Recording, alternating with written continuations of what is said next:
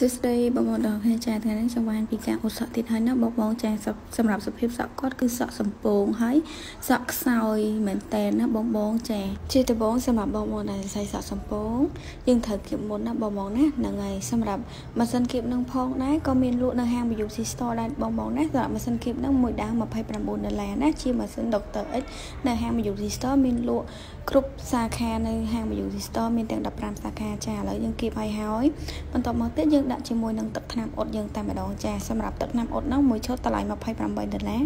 មានលក់នៅហាង Mayuli Store ទាំង15សាខាណាបងបងចាហ្នឹងហើយអញ្ចឹងយើងលាបមកយើងសិតបែបអញ្ចឹងណាបងបងណាចាចាបន្ទាប់មកទៀតយើងចាប់ជាសតបមកណាបងមកចាប់ជាសតបមកមកសតបទៀតយើងដាក់មកចាយើងសិតឲ្យគ្រប់ទៅខ្សែសក់ណាបងបងណាចា យើងសិតបែបអញ្ចឹងណាបងបងសម្រាប់អ៊ុតសក់យើងត្រូវតែអាសាសិតចាឥឡូវយើងលាបបានគ្រប់វិស័យសក់ហើយណាបងបងណាអញ្ចឹងបងបងទាញឲ្យយឺតយើងយកទៅលាងចេញតែម្ដងចាហ្នឹងហើយឥឡូវលាងលាងហើយហើយយើងផ្លុំតែម្ដងចា